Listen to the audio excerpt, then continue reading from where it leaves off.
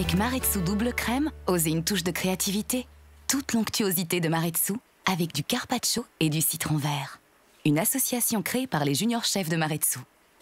Découvrez leurs recettes, votez pour eux et tentez de gagner un week-end gastronomique à Maretsu. Maretsu, la tradition du goût.